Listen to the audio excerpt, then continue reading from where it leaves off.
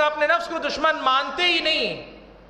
ہم یہ سمجھتے ہیں کہ ہمارے اندر جو بھی خیالات آ رہے ہیں، ہم عقل مند ہیں، ہم سمجھدار ہیں، ہم پڑھے لکھے ہیں، ہم بڑے ذہین ہیں، بڑے چالاک ہیں۔ ہمیں دنیا کا تجربہ ہے، ہم نے سمجھا ہوا ہے، بہت کچھ ہے۔ اس لیے جو میرا خیال ہے، وہ ہمیشہ صحیح ہوتا ہے۔ میں کبھی غلط نہیں ہو سکتا۔ میری رائے کبھی غلط نہیں ہو سکتی۔ میرے دل میں جو خیال آتا ہے، وہ ہمیشہ اچھا ہی آتا ہے، صحیح ہی آتا ہے۔ یہ ہے سب سے پہلا دشمن جو مجھ کو اور آپ کو اپنے آپ سے جو ہے دھوکے میں رکھتا ہے. سبحان اللہ. نبی علیہ السلام خطبے میں اپنے خطبے کے اندر جو کلمات ادا کیا کرتے تھے ان میں سے ایک کلمہ یا ایک دعا یہ بھی تھی اللہ کے نبی فرماتے تھے وَنَعُوذُ بِاللَّهِ مِن شُرُورِ أَنفُسِنَا وَمِن سَيِّئَاتِ أَعْمَالِنَا۔ اللہ تعالیٰ کہتے تھے ہم اللہ تعالیٰ کی پناہ میں آتے ہیں اپنے نفسوں کے شر سے اللہ تعالیٰ کی پناہ میں آتے ہیں۔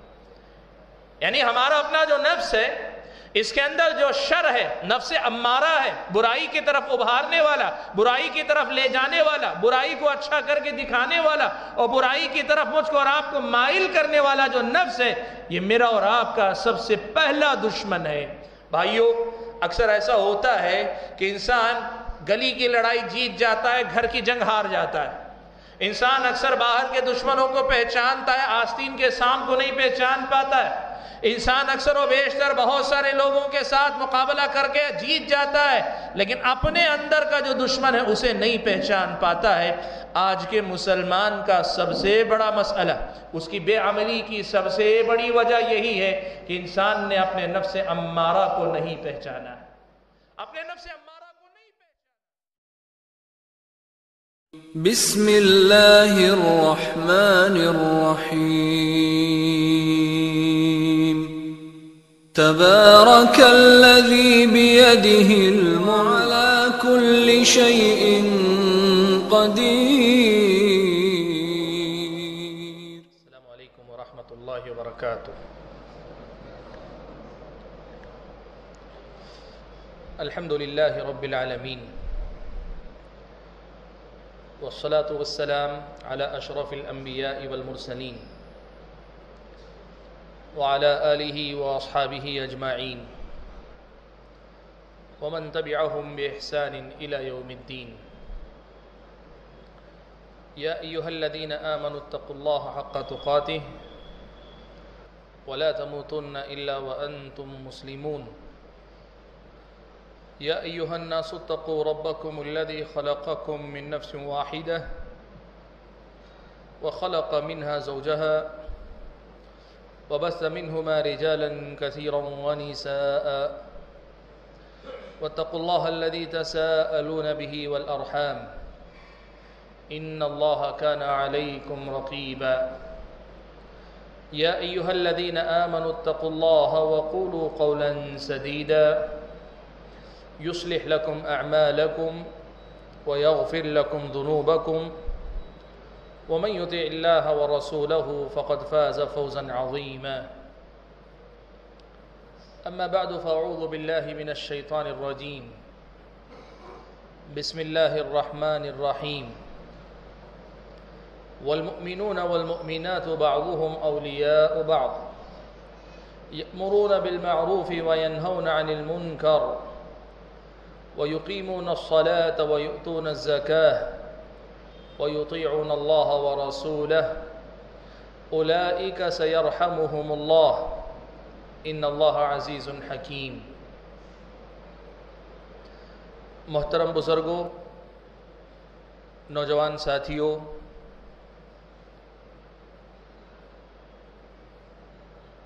آج آپ کی اس مسجد کے اندر مجھے جس عنوان کی وضاحت کرنی ہے یا جس عنوان پر گفتگو کرنی ہے، وہ عنوان ہے، عمل کی راہ میں ہم سفر بنی ہے ہم اور آپ یہ بات اچھی طرح سے جانتے ہیں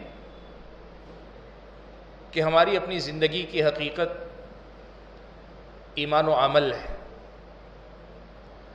ہم اس زندگی کے اندر جو کھیتی کرتے ہیں وہ ایمان و عمل کی کھیتی ہے۔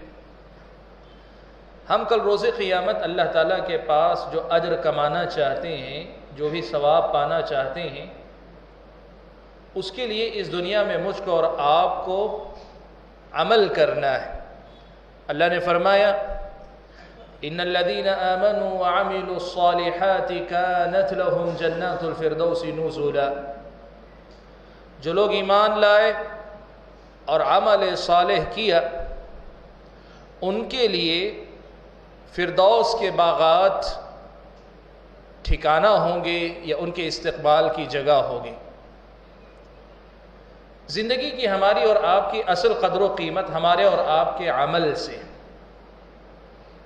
ہم اور آپ مسلمان ہو جاتے ہیں، چاہے ہم ایک مسلم گھرانے میں پیدا ہونے کی وجہ سے مسلمان رہیں یا پھر اللہ تعالیٰ کی خصوصی توفیق کے نتیجے میں کسی غیر مسلم گھرانے میں پیدا ہونے کے باوجود اسلام کی دولت سے ہم مالا مال ہوئے ہوں، دونوں ہی صورتوں میں اصل میں ہماری زندگی کی قدر و قیمت ہمارے عمل سے ہم جس قدر زیادہ باعمل ہوں گے، جس قدر زیادہ اچھے عمل کریں گے اور جس قدر زیادہ عمل کریں گے اتنے ہی زیادہ اللہ تعالیٰ کے محبوب، اللہ تعالیٰ کے چہیدے اور اللہ تبارک و تعالیٰ کے پسندیدہ بندے ہم اور آپ بنیں گے۔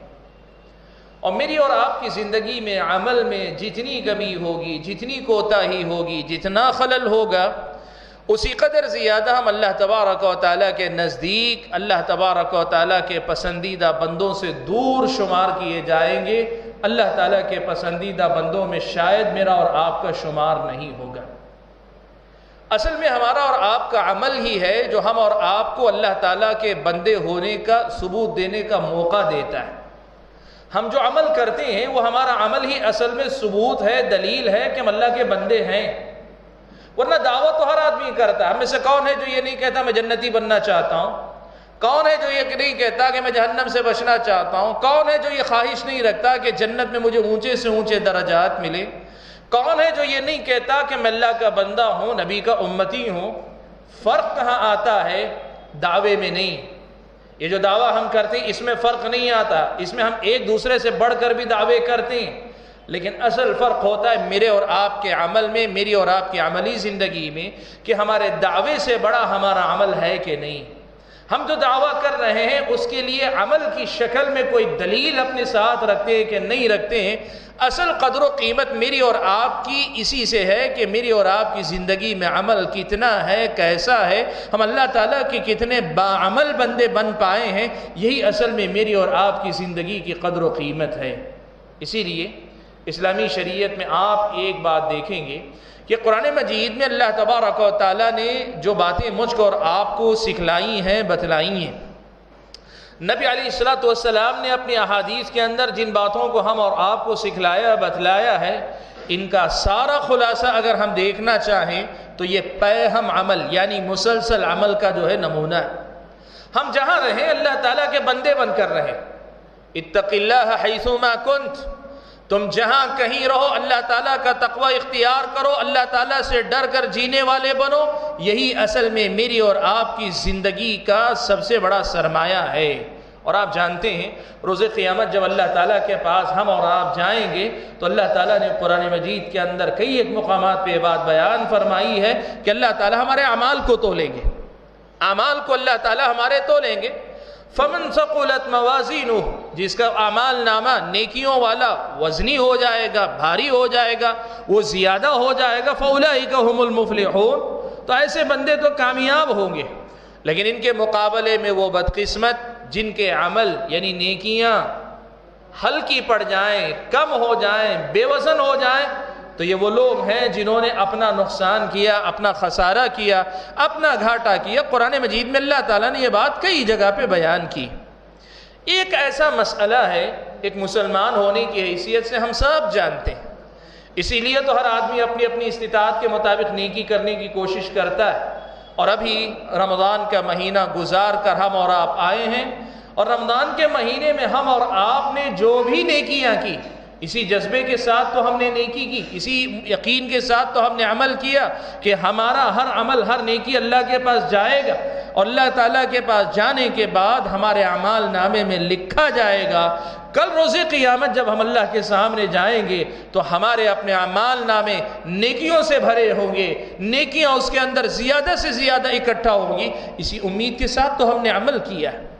ساری زندگی ہم اسی کے مطابق عمل کرتے ہیں اور یہ مسئلہ کہ نیکی آدمی کو اللہ سے قریب کرتی ہے، گناہ آدمی کو اللہ سے دور کرتی ہے۔ نیکی آدمی کو جنت کے قریب لے جاتی ہے، برائی آدمی کو جنت سے دور لے جاتی ہے۔ نیکی جہنم سے دور لے جاتی ہے، گناہ جہنم سے قریب کرتا ہے۔ یہ ایک ایسی حقیقت ہے کہ ہر مسلمان یہ بات جانتا ہے۔ ہر مسلمان یہ بات جانتا ہے۔ بھائیو ایک سوال اب میں آپ سے کرتا ہوں کہ جب ہم یہ مانتے ہیں کہ اصل ہماری زندگی کی جو کھیتی ہے، یہ عمل کی کھیتی ہے، اور یہ بھی ہم مانتے ہیں کہ سارے مسلمان اس بات کو جانتے بھی ہیں، مانتے بھی ہیں، تو سوال یہ پیدا ہے، ہوتا ہے کیا سارے مسلمان اس کے مطابق عمل بھی کر دیں؟ کہ سارے مسلمان باعمل ہیں؟ سارے مسلمانوں کا چھوڑیے، ہم اپنی زندگی کے بارے میں بات کریں، پڑوسی کو نہ دیکھیں، اپنے آس پاس نہ دیکھیں، اپنے گریبان میں ہم جھانک کر دیکھیں کیا واقعی معنوں میں یہ جو حقیقت ہمارے اور آپ کے سامنے، ہم جسے جانتے ہیں، مانتے ہیں، کیا اسی کے مطابق میری اور آپ کی زندگی میں عملی طور پر ہم دیکھتے ہیں کہ ہم باعمل ہیں؟ کیا ہم ہمیشہ اللہ تعالیٰ کی فرما برداری ہی کرتے ہیں؟ نافرمانی نہیں کرتے، ہمیشہ نیکیاں ہی کرتے ہیں، گناہ نہیں کرتے ہمیشہ اچھے کام ہی کرتے ہیں، برے کام ہم نہیں کرتے ایک ایسا سوال ہے جو ہم اور آپ کو کرنا چاہیے اپنے آپ سے۔ اور میں سمجھتا ہوں کہ کوئی ایسا انسان ہوگا، شاید ہی کوئی ایسا انسان ہوگا جو اپنے عمل کے بارے میں دھوکے میں مبتلا ہو کہ نہیں، میں بہت دودھ کا دھلا ہوں۔ میں بہت نیک ہوں، میں کبھی گناہ نہیں کرتا۔ میں بہت نیکیاں کرتا ہوں، میرے پاس گناہ بہت کم ہے یہ سوچنے، سمجھنے والے انسان شاید ہی کہیں ہوں۔ اور مومن کا معاملہ تو یہ ہے کہ مومن باعمل ہو کر بھی ایسا نہیں سوچ سکتا۔ ہمارا آپ تو اللہ رحم فرمائے ہماری زندگیوں پر کہ ہماری زندگی میں کوتا ہی ہے، خلل ہے، بے عملی ہے۔ اللہ رحم فرمائے، اللہ کی نافرمانی ہے۔ لیکن اللہ کے نبی صلی اللہ علیہ وسلم تو یہ بات بیان فرماتے ہیں کہ مومن کا جو معاملہ ہوتا ہے، وہ باعمل ہو کر بھی ایسا نہیں سوچتا ہے کہ میں بہت باعمل ہوں۔ وہ کسی اپنے گناہ کو معمولی نہیں سمجھتا ہے۔ مثال دے کر اللہ کے نبی صلی اللہ علیہ وسلم نے یہ بات بیان فرمائی۔ حضرت عبداللہ ابن مسعود رضی اللہ تعالیٰ عنہ فرماتے ہیں کہ ایک مومن اور منافق کا معاملہ یہ ہے کہ مومن اگر کوئی گناہ کر لیتا ہے، مومن اگر کوئی گناہ کر لیتا ہے، تو گناہ کرنے کے بعد ویسے ہی اپنے گناہ سے ڈرتا رہتا ہے۔ جیسے کوئی آدمی کسی پہاڑ کی چٹان کے نیچے بیٹھا ہے اور اسے یہ ڈر لگا رہتا ہے کہ پتہ نہیں کب یہ چٹان اپنی جگہ سے ہٹے اور میرے اوپر آ کے گر جائے۔ تو ایسا آدمی جو کسی پہاڑ کی چٹان کے نیچے بیٹھا ہو اور اسے یہ ڈر ہو کہ کب پتہ نہیں یہ چٹان میرے اوپر گر پڑے گی اس آدمی کی زندگی میں جتنا ڈر ہوتا ہے، مومن اپنے گناہ کو اسی نظر سے دیکھتا ہے، گناہ ہو گیا ہے، پتہ نہیں کیا سزا ملے گی، پتہ نہیں کیا مصیبت آئے گی، پتہ نہیں اللہ تعالیٰ کی طرف سے میری پکڑ کیسی ہوگی، اللہ تعالیٰ میرا کیا کریں گے؟ ایک مومن اپنے گناہ کی طرف سے اس قدر زیادہ خوف زدہ رہتا ہے اور اس کے مقابلے میں وہ منافق ہوتا ہے، وہ منافق ہوتا ہے۔ جو گناہ کرتا ہے اور گناہ کرنے کے بعد ویسے ہی اس کو بھول جاتا ہے، جیسے کسی آدمی کے ناک پہ مکھی بیٹھی ہو اور اس نے اپنے ہاتھ سے یوں کر کے مکھی کو اڑا دیا ہو، تو آدمی جس قدر ایک مرتبہ مکھی کو اڑانے کے بعد بے فکر ہو جاتا ہے، ایک منافق کی بھی یہ بات ہے کہ وہ گناہ کرنے کے بعد اپنے گناہ سے ویسے ہی غافل ہو جاتا ہے۔ معلوم یہ ہوا کہ ایک مومن جو ہوتا ہے وہ عمل کر کے بھی اپنے عمل کے سلسلے میں بہت زیادہ خوش فہمی میں مبتلا نہیں ہوتا۔ وہ گناہ کر کے بہت زیادہ مطمئن نہیں ہوتا۔ مومن عمل کر کے بھی بے آدمی ویسی زندگی نہیں گزارتا کہ میں مطمئن ہوں، میں بے فکر ہوں۔ یہ زندگی مومنوں والی نہیں ہوتی ہے۔ تو اس کا مطلب کیا ہوا؟ ہمارے اور آپ کے اس سوال کا جواب کہ کیا ہم واقعی معنوں میں باعمل ہیں؟ کیا میری اور آپ کی زندگی کے اندر عمل واقعی بہت زیادہ ہے؟ کہ میری اور آپ کی زندگی کے اندر نیکیاں بہت ہیں اور گناہ نہ ہونے کے برابر ہیں یا نہیں ہیں؟ اس سوال کا اگر ہم اور آپ جواب تلاش کرنا چاہیں اور انصاف کے ساتھ کرنا چاہیں، بلکہ آگے بڑھ کر اللہ سے ڈر کر کرنا چاہیں، اللہ تبارک و تعالیٰ کے سامنے حاضری جواب دہی کا یقین رکھتے ہوئے اپنے عمل کا جائزہ لیں۔ یقین مانیں ہماری اور آپ کی زندگی کے اندر عمل کی کوتاہی عملی کوتاہی اس قدر زیادہ ہے کہ ہم اور آپ خود اپنے آپ کو ملامت کرنے کے علاوہ کچھ اور نہیں کر سکتے۔ بھائیو سوال یہ پیدا ہوتا ہے کہ اگر بات ایسی ہی ہے، اگر بات ایسی ہی ہے کہ ہماری اور آپ کی زندگی کے اندر عمل کی کوتا ہی ہے، عمل میں کمی ہے بہت زیادہ تو پھر سوال یہ پیدا ہوتا ہے کہ ایسا کیوں ہے؟ جب ہم عمل کا ثواب جانتے ہیں، بدعملی کا عذاب جوان جانتے ہیں، اللہ تعالیٰ کی بندگی کا فائدہ جانتے ہیں، اللہ تعالیٰ کی نافرمانی کا نقصان جانتے ہیں، ہم اور آپ ہماری ہر اچھائی کی قدر و قیمت جانتے ہیں، ہمارے اور آپ کے ہر گناہ کے جو مضر اثرات ہو سکتے ہیں، اس کو جانتے ہیں، تو سوال یہ پیدا ہوتا ہے کہ پھر ہم عمل میں کیوں پیچھے رہ جاتے ہیں؟ ہم کیوں عمل میں پیچھے رہ جاتے ہیں جبکہ ہم سب جانتے ہیں؟ ہمیں معلوم ہے کہ ہمارا نماز پڑھنا ہمیں فائدہ ہی پہنچائے گا، اس میں ہمارا کوئی نقصان نہیں۔ اور نماز چھوڑنے میں ہمارا نقصان ہی نقصان ہے، اس میں کوئی فائدہ نہیں، سب جانتے ہیں۔ لیکن کیا جاننے والے سب نماز کے پابند ہیں؟ نہیں ہیں۔ تجارتوں کے اندر ہم سب یہ بات مانتے ہیں کہ اللہ تعالیٰ نے قرآن میں کہا ہے کہ اللہ تعالیٰ سود کو مٹاتے ہیں، صدقات کو ترقی دیتے ہیں۔ لیکن اس کا مطلب کیا ہوا؟ سب کے سب سود سے بچے ہوئے ہیں۔ نہیں، ایسا نہیں۔ ہے بہت سارے لوگوں کے کاروبار آج بھی سودی لین دین کے اندر ڈوبے ہوئے ہیں۔ ہم یہ بات اچھی طریقے سے جانتے ہیں کہ میرے اخلاق اگر اچھے ہو جائیں تو میں عبادت گزار نہ ہو کر بھی محض اچھے اخلاق کی وجہ سے ایک رات رات بھر عبادت کرنے والے، دن بھر ہمیشہ روزے رکھنے والے کا درجہ پا سکتا ہوں۔ یہ ہم جانتے ہیں، لیکن کیا ہم واقعی معنوں میں با اخلاق ہو جاتے ہیں؟ نہیں ہوتے۔ کیوں نہیں ہوتے ہیں؟ ہم کیوں با عمل نہیں ہو پاتے ہیں؟ ہماری زندگی میں عمل کیوں نہیں ہو پاتا ہے؟ جبکہ ہم جانتے ہیں کہ عمل ہمارا فائدہ کرے گا، بے عملی ہمارا نقصان کرے گی۔ ہم کیوں نہیں کر پاتے ہیں؟ بھائیوں اس کی سب سے پہلے تو ایک بنیادی وجہ ہے کہ ہماری اپنی زندگی کے اندر ہمارے تین دشمن ہیں۔ ہماری اپنی زندگی کے اندر ہمارے تین دشمن ہیں۔ ان دشمنوں کو پہچان کر ان کا مقابلہ کرنے میں ہم ناکام ہو جاتے ہیں۔ صرف تین دشمن ہیں جو میری اور آپ کی عملی زندگی کو سبوتاج کرنے والے، ختم کرنے والے، برباد کرنے والے تین دشمن ہیں میرے اور آپ کے، ہر مسلمان کے، ہر انسان کے، ہر مرد کے، ہر عورت کے، کیا چھوٹا، کیا بڑا، کیا بزرگ، کیا جو ہے مطلب جوان اور کیا عالم، کیا غیر عالم، سب کے ساتھ یہ تین دشمن لگے ہوئے ہیں۔ ان تین دشمنوں کو پہچان کر ان سے مقابلہ کرنے کا طریقہ مجھ کو اور آپ کو آنا چاہیے۔ یہ پہلی بات ہے کہ ہماری اور آپ کی زندگی میں ہم سب جان کر بھی کیوں بعمل نہیں ہو پاتے؟ اس لیے نہیں ہو پاتے کہ ان تین دشمنوں کو ہم نہیں پہچان پاتے، ان تین دشمنوں کا مقابلہ نہیں کر پاتے، ان تین دشمنوں کے مقابلے میں جیت نہیں پاتے، ان تین دشمنوں کو ہرا نہیں پاتے، ان تین دشمنوں سے یا تینوں میں سے کسی ایک سے ہم اور آپ ہار جاتے ہیں، جس کی وجہ سے میری اور آپ کی زندگی میں عمل نہیں آ پاتا ہے یا ہم اور آپ باعمل نہیں ہو پاتے ہیں۔ کون ہے یہ تین دشمن؟ ان تین دشمنوں کو پہچانے ہم اور آپ۔ اگر ہم نے ان تین دشمنوں کو اپنی زندگی میں پہچان لیا اور ان کا مقابلہ کر لیا، ان پر غلبہ پا لیا، بِإِذْنِ اللہ اللہ تعالیٰ کی توفیق سے ہم سے زیادہ باعمل انسان دنیا کے اندر نہیں ہوگا۔ ہم سے زیادہ بہتر عمل کرنے والا کوئی نہیں ہوگا۔ شرط کیا ہے؟ ان تین دشمنوں کو پہچاننے کی ہم اور آپ کوشش کریں۔ کون ہے یہ تین دشمن؟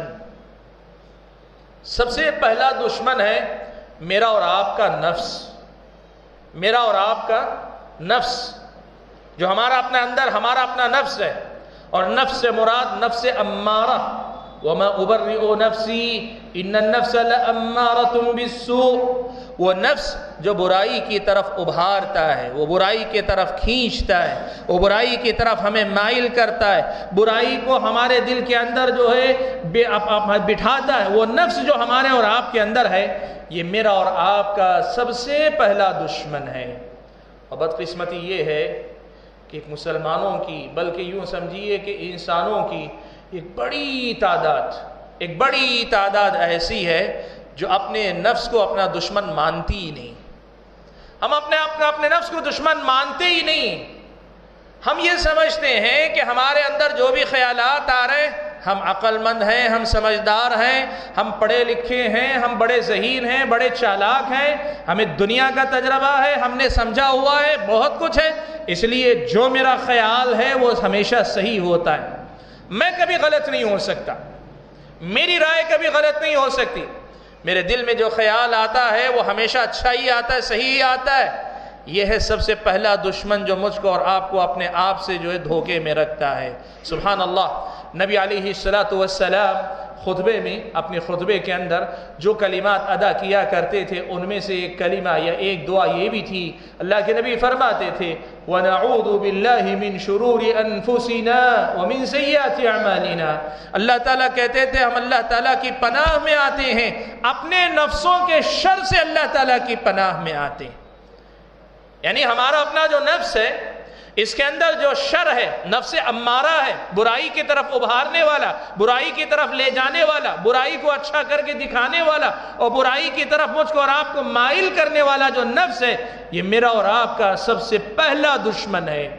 بھائیو، اکثر ایسا ہوتا ہے کہ انسان گلی کی لڑائی جیت جاتا ہے، گھر کی جنگ ہار جاتا ہے۔ انسان اکثر باہر کے دشمنوں کو پہچانتا ہے، آستین کے سام کو نہیں پہچان پاتا ہے۔ انسان اکثر و بیشتر بہت سارے لوگوں کے ساتھ مقابلہ کر کے جیت جاتا ہے، لیکن اپنے اندر کا جو دشمن ہے، اسے نہیں پہچان پاتا ہے۔ آج کے مسلمان کا سب سے بڑا مسئلہ، اس کی بے عملی کی سب سے بڑی وجہ یہی ہے کہ انسان نے اپنے نفس امارہ کو نہیں پہچانا۔ اپنے نفس امارہ کو نہیں پہچانا۔ یاد رکھیں، سلف صالحین ایک بات کہا کرتے تھے۔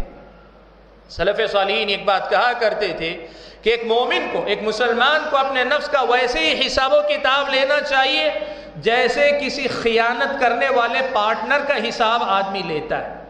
یعنی آپ کو تجارت کرنی ہے اور پارٹنرشپ بھی کرنی ضروری ہے، مجبوری ہے، اس کے بغیر آپ تجارت نہیں کر پا رہے لیکن آپ کا آپ کا پارٹنر بھروسے کے قابل نہیں ہے۔ تو آپ کیا کریں گے؟ بزنس بھی کریں گے۔ پارٹنرشپ بھی رہے گی، اس لیے کہ اس کے بغیر آپ نہیں کر پاتے۔ آپ کو پارٹنرشپ کی ضرورت ہے، لیکن وہ آدمی دھوکے باز ہے تو کیا کریں گے؟ آپ اس پہ نظر رکھیں گے۔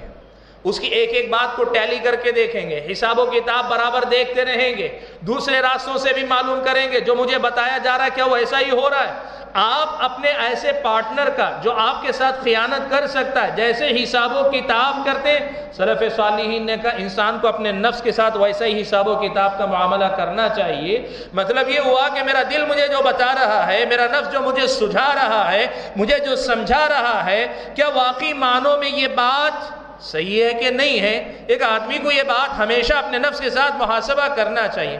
آج ہمارا مسئلہ یہ ہے کہ آدمی نے یہ مان لیا ہے کہ میرے دل میں جو خیال آتا ہے صحیح ہے۔ مجھے جو سجھائی دیتا ہے مجھے جو سمجھ میں آتا ہے صحیح ہے۔ میں کبھی غلط نہیں ہو سکتا۔ اور اسی کا نتیجہ ہے کہ انسان کی زندگی کے اندر بے عملی، بد عملی بڑھتی جا رہی ہے۔ اور انسان اس لیے اس سے باز نہیں آتا کہ اس لیے کہ وہ سمجھتا ہے کہ میرے دل نے مجھے کبھی جو ہے غلط راستہ نہیں بتایا۔ یا انسان اس ناحیے سے سوچتا بھی نہیں ہے کہ میرا دل میری غلط رہنمائی کر سکتا ہے۔ یہ پہلا مسئلہ ہے جس کی طرف مجھ کو اور آپ کو توجہ دینی چاہیے۔ میں ایک پریکٹیکل مثال کے ذریعے آپ کے سامنے بات واضح کروں۔ یعنی عملی مثال زندگی کے ہمارے جو معاملات ہیں، ان کی ایک مثال آپ کے سامنے دیتا ہوں۔ آپ کو یا مجھ کو اگر کسی نے ایک گالی دے دی، نفس کیا کہتا ہے؟ اس سے بڑی گالی دینی چاہیے۔ سامنے والے نے اگر ایک مار ماری، تو ہمیں کیا جواب؟ ہمارے دل میں کیا آتا ہے؟ مجھے دو لگانے چاہیے۔ انسان کا نفس چاہتا ہے یہی چیز۔ انسان چاہتا ہے اینٹ کا جواب پتھر سے دینا چاہیے۔ اور آدمی سمجھتا ہے کہ یہی جمع مردی ہے، یہی ہمت ہے، یہی میرا و کمال ہے۔ دیکھیے، یہی اصل میں میرا اور آپ کا مقابلہ ہے۔ ہم جو بات کر رہے ہیں کہ عملی زندگی کی اصلاح، اس میں ہمارے اپنے نفس کے ساتھ ہمارا مقابلہ یہی اصل میں مقابلہ ہے۔ نبی علیہ السلاۃ والسلام نے اس مسئلے میں کیا بتایا؟ اللہ کے نبی صلی اللہ علیہ وسلم نے ایک بات بیان فرمائی کا، المستبانی ما قال فعل البادی اسمهما ما لم يعتد المظلوم۔ دو آدمی اگر آپس میں جھگڑ رہے، ایک نے گالی دی، سامنے والے نے بھی گالی دی۔ دوس پہلے نے پھر کچھ کہا، دوسرے نے بھی کچھ کہا۔ اللہ کے نبی فرماتے ہیں دو آدمی اگر ایسے آپس میں جھگڑ رہے ہیں برا بھلا کہہ رہے ایک دوسرے کو، تو جس نے شروعات کی، اسی کو دونوں کا گناہ ملے گا۔ یعنی جواب دینے والے کا گناہ بھی شروع کرنے والے ہی کو ملے گا۔ کب تک؟ کہا، ما لم یعتد المظلوم۔ جب تک کہ یہ دوسرا جو مظلوم تھا، وہ حد سے تجاوز نہ کرے۔ یعنی وہ اس نے آپ کو جو گالی دی، آپ نے پلٹ کر وہی گالی دے دی۔ برابر کا معاملہ ہے۔ دونوں کا گناہ پہلے آدمی کو۔ اس نے آپ کو ایک مارا، آپ نے بھی پلٹ کر برابر ویسی ہی مار، ایک میں ایک ہی ماری۔ اس کا گناہ اسی کو ملے گا۔ دونوں کی مار کا گناہ پہلے آدمی کو ہی ملے گا۔ کب تک؟ جب تک آپ کا معاملہ برابری کا ہے۔ جیسے ہی آپ برابری سے آگے بڑھ جاتے ہیں، اینٹ کا جواب پتھر سے دینے کی بات کرتے ہیں۔ اس نے گالی دی، آپ نے اور بڑی گالی دی۔ اس نے ایک دی، آپ نے دو سنائی۔ تو اسلامی شریعت کہتی ہے کہ آپ نے حد سے تجاوز کیا تو اب آپ ذمہ دار ہو جائیں گے۔ اب آپ ذمہ دار ہو جائیں گے۔ وہ پہل کرنے، ابتدا کرنے کا ذمہ دار ہو جائے گا اور آپ حد سے تجاوز کرنے والے بن جائیں گے۔ آپ ظالم بن جائیں گے۔ آپ پہلے مظلوم تھے، اب ظالم بن جائیں گے۔ اسی لیے اسلام کیا کہتا ہے؟ اگر وَإِنْ عَاقَبْتُمْ فَعَاقِبُوا بِمِثْلِ مَا عُوقِبْتُمْ بِهِ۔ اگر تم کسی آدمی سے بدلہ لیتے ہو تو ویسے ہی لو، جیسا کہ اس نے تمہیں تکلیف دی ہے۔ لیکن پھر بھی ولا ان صبر تم لیکن تم صبر کر لے جاؤ تو یہ صبر کرنے والوں کے حق میں بہتر ہے۔ دیکھیے، اب یہاں جو ہے ایک مثال ہمارے سامنے آئی۔ ایک ہے جو میرا اور آپ کا نفس کہتا ہے، اس نے ایک گالی دی، میں دو دوں گا۔ اس نے اینٹ سے حملہ کیا، میں پتھر سے بات کروں گا۔ اس نے مجھے دھمکایا، میں کر کے دکھلاؤں گا۔ یہ میرا اور آپ کا نفس بتلاتا ہے۔ اور اسلامی شریعت مجھ کو اور آپ کو بتلاتی، یاد رکھنا، معاف کر دینا بہتر ہے۔ لیکن معاملہ برابری کا اگر کر سکتے، اگر کرنا ہی ہے تو برابری کا ہونا چاہیے، حد سے آگے نہیں بڑھنا چاہیے۔ اب بتاؤ، عملی زندگی میں ہم کس کو مانتے؟ ہماری اپنی روز مرہ کی زندگی کا معاملہ بتاؤ کہ ہم اپنی عملی زندگی میں کس کے پابند ہیں، ہم کرتے کیا ہیں؟ کیا ہم اس حد بندی پہ رکتے ہیں یا پھر یہ کہ ہم اپنے نفس کی سنتے ہیں؟ بھائیو، نوے فیصد، پنچانوے فیصد لوگ ایسے ہیں جو اپنے نفس ہی کی مانتے ہیں۔ اور اتنے تو بسا اوقات ہم نے دیکھے ہیں، اچھے خاصے دیندار لوگ، پڑھے لکھے لوگ، سمجھدار لوگ جب غصے میں آتے ہیں تو وہ بھی آپے سے باہر ہو جاتے ہیں۔ اور جب غصہ اتر جائے، ان کو سمجھاتے ہیں کہ آپ کے لیے درست تھا کہ آپ گالی دوسری دیتے، کہ آپ کے لیے درست تھا کہ آپ حد سے آگے بڑھ کر بتا دے۔ آدمی کہتا ہے، نہیں، میں غصے میں آ گیا تھا، اس لیے میں کر گزرا۔ مطلب یہ ہوا کہ ہم نے اپنے نفس کو نہیں پہچانا، وہ نفس جو مجھ کو اور آپ کو حد سے آگے بڑھنے کی طرف لے کر جا رہا ہے اور اس کو ہم نے اور آپ نے نہیں پہچانا۔ یہ میرا اور آپ کا نفس ہے جو مجھ کو اور آپ کو دھوکے میں مبتلا کر کے رکھتا ہے۔ بھائیو، یہ پہلا دشمن ہے، اس کو یاد رکھو۔ یاد رکھو کہ میری اور آپ کی زندگی میں میرا اور آپ کا نفس جو مجھے سجھاتا، سکھاتا، بتلاتا ہے، وہ سب صحیح نہیں ہو سکتا۔ طریقہ کیا ہونا چاہیے؟ دیکھو، ہماری اپنی زندگی میں جو ہو رہا ہے اور ہماری اپنی زندگی میں جو ہونا چاہیے، اپنے نفس کے ساتھ معاملہ کرنے کے معاملے میں، اس کا فرق اگر سمجھ لیں، تو پھر اس دشمن کا مقابلہ آسان ہوتا ہے۔ طریقہ کیا ہے؟ طریقہ یہ ہے کہ میرا اور آپ کا نفس جب بھی کوئی بات سجھائے، سکھائے، بتلائے، اور صرف یہ جھگڑوں ہی کی بات نہیں، کسی چیز کی خواہش ہے، کسی بھی چیز کی تمنا ہے، کسی بھی چیز کی آرزو ہے، نفس کے اندر کوئی بھی بات آگے بڑھتی ہے، زور لگاتی ہے، تو ہم اور آپ کیا کریں؟ جو بات نفس میں آتی ہے، اسے فوراً صحیح نہ سمجھے۔ اسے فوراً نہ صحیح سمجھے۔ سب کے دل میں خیالات آتے ہیں۔ غلط خیالات آتے ہیں، خواہشات آتی ہیں، مختلف قسم کے آرزویں آتی ہیں، تمنائیں آتی ہیں، غصہ پیدا ہوتا ہے۔ کیا کیا ہوتا ہے انسان کے؟ سب کے ساتھ ہوتا ہے۔ لیکن کم کرنے کا کام کیا ہے؟ دشمن کا مقابلہ کیسے کریں گے؟ ایک طریقہ تو یہ ہے کہ سب سے پہلے یہ اصول بنا لیں کہ میرے دل و دماغ میں آنے والی ہر بات صحیح ہو، یہ ضروری نہیں، مجھے چیک کرنا چاہیے۔ مجھے پہلے ایک مرتبہ چیک کرنا چاہیے، پھر اس کے بعد ماننی چاہیے۔ اور چیک کیسے کروں گا؟ جو بھی میرے دل میں بات آتی ہے، خیال آتا ہے، میں اسے کتاب و سنت کی تعلیمات کی روشنی میں پرکھ کر دیکھ لوں۔ کیا میرا ایسا کرنا صحیح ہے؟ میرا ایسا کہنا صحیح ہے؟ میرا ایسا سوچنا صحیح ہے؟ میرا ایسا دیکھنا صحیح ہے؟ میرا یہ معاملہ ایسے آگے بڑھے گا تو صحیح ہوگا کہ غلط ہوگا؟ یہ دیکھنا چاہیے۔ اور پھر اس کے بعد دل کی بات کی جو تائید قرآن و سنت سے ہو جائے، دل کی جس بات کی تائید قرآن و سنت سے ہو جائے، گھر گزریے، اس میں خیر ہے، اس میں برکت ہے، اس میں اچھائی ہے۔ اور دل کی ہر وہ بات جو قرآن و سنت کی تعلیمات سے ٹکراتی ہے، سمجھ جائیے کہ اس کو ماننا سب سے پہلے اپنے آپ کو دشمن، اپنے حق میں دشمنی کا معاملہ کرنا۔ وہ آدمی جو اپنے نفس کی غلامی کرتا ہے، وہ سب سے پہلے اپنا آپ کا دشمن ہے۔ وہ آدمی جو اپنے نفس کا غلام ہے، وہ سب سے پہلے اپنے آپ کا دشمن ہے، یاد رکھیں۔ پرایوں کو چھوڑے، دوسروں کا کیا ہوگا بعد میں؟ اپنے نفس کا غلام، اپنے نفس کا سب سے بڑا دشمن ہوتا ہے۔ لیکن اس کے مقابلے میں ہمارا معاملہ الٹا ہے۔ وہ کیا ہے؟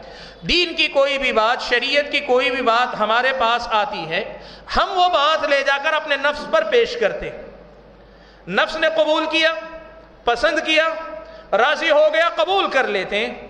نفس اگر اس کو نکار دے، پسند نہ کرے، یا نفس اس کا، اس کو بوجھل محسوس کرے، ذرا مشکل لگ رہا ہے، تو پھر ہم وہ بات چھوڑ دیتے ہیں، اپنے نفس کی بات مان لیتے ہیں۔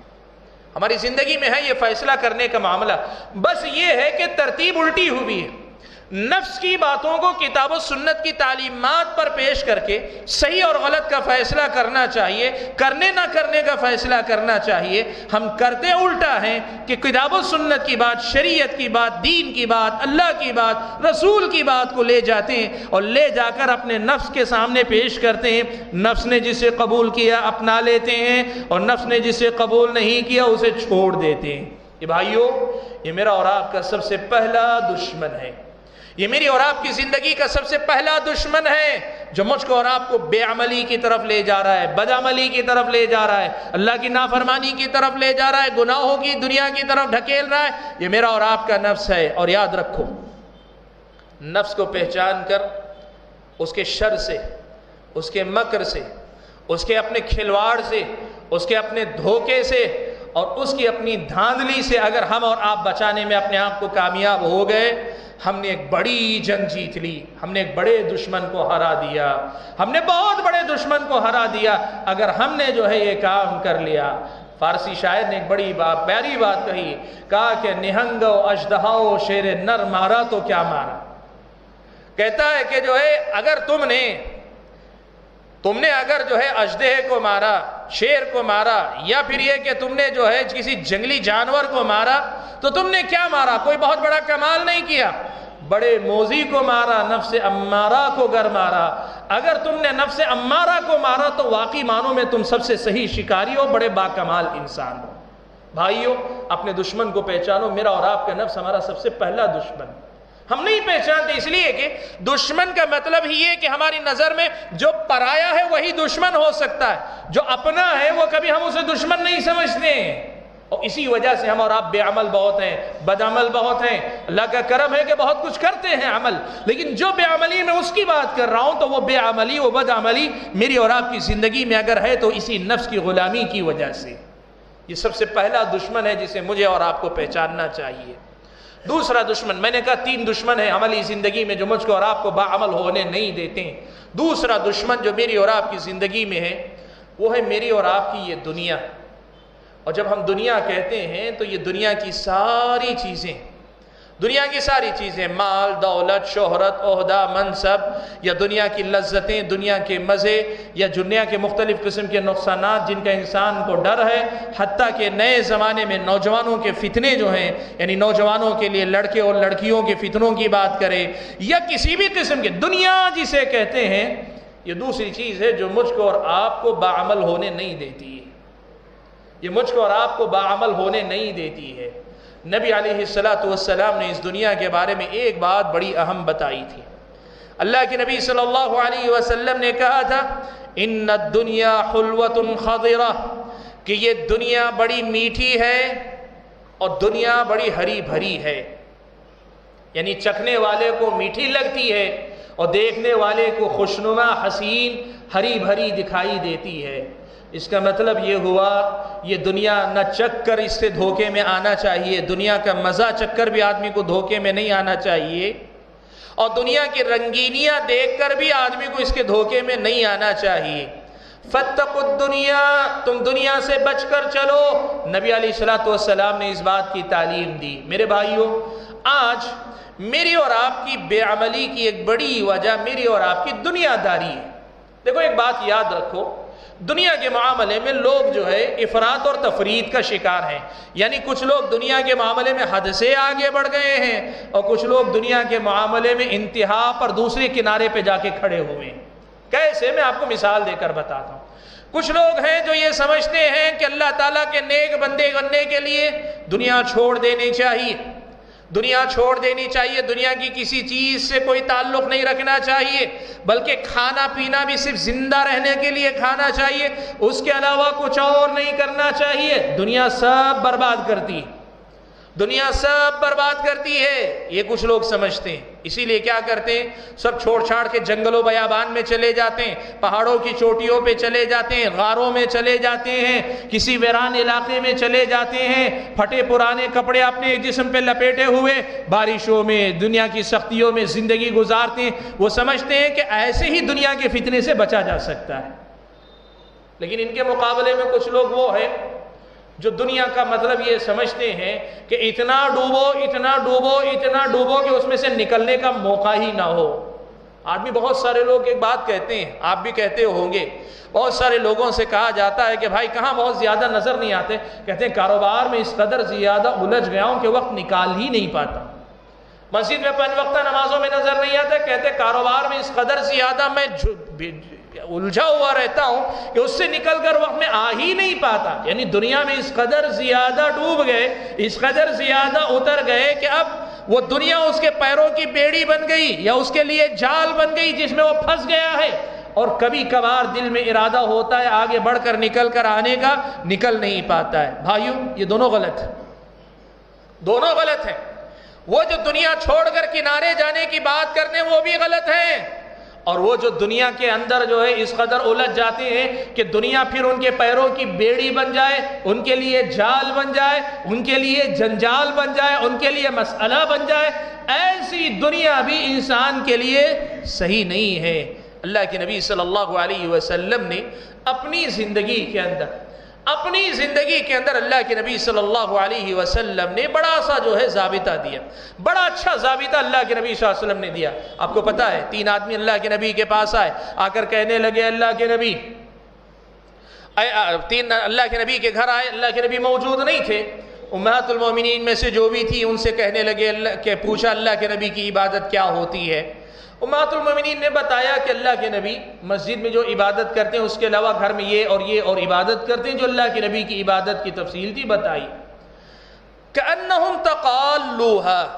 اب جب انہوں نے سنا تو ان کو لگا کہ نبی کی ان عبادتوں کے مقابلے میں ہماری عبادتیں بہت کم ہیں۔ ہم بہت کم عبادت کرتے ہیں۔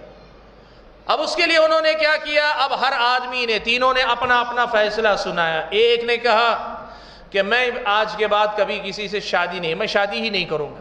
کیوں؟ شادی کروں گا، بیوی ہوگی، بچے ہوں گے، ان کے مسائل، ان کے لیے کمانا، ان کے لیے جو ہے پیسہ لانا، ان کی ضرورتوں کو پورا کرنا، زندگی پوری اسی میں نکل جائے گی۔ اور میں عبادت کہاں کر پاؤں گا؟ اس لیے کہا میں شادی ہی نہیں کروں گا۔ یعنی عبادت میں لگا رہوں گا، شادی نہیں کروں گا۔ دوسرے آدمی نے کہا کہ میں رات رات بھر ہمیشہ عبادت ہی کرتا رہوں گا، کبھی رات میں سوؤں گا ہی نہیں۔ رات میں آرام کروں گا ہی نہیں، رات بھر صرف نماز ہی پڑھتا رہوں گا۔ اور تیسرے آدمی نے کہا کہ میں دن میں ہمیشہ روزے سے رہوں گا، بغیر روزے کے میرا ایک دن بھی نہیں گزرے گا۔ میں ہمیشہ روزے دار کی حیثیت سے زندگی گزاروں گا۔ یہ کیا تھا؟ بظاہر دیکھنے میں عمل کا جذبہ تھا۔